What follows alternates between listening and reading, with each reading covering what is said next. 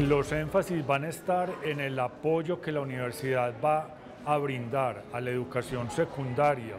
en particular a los grados 10 y 11,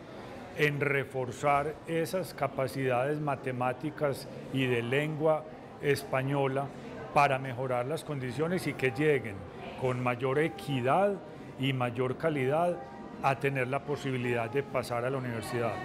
Queremos, por el contrario de lo que se piensa, es aumentar las oportunidades de que nuestros jóvenes y en particular de aquellos de menores ingresos lleguen con más capacidades a la universidad y logren permanecer a lo largo de sus programas como estudiantes activos. La idea que tenemos es si logramos disminuir la deserción, logramos mantener esas sillas que se nos están quedando vacías hoy por efecto de la deserción. Y por esa vía es el primer eh, ejercicio para aumentar la cobertura.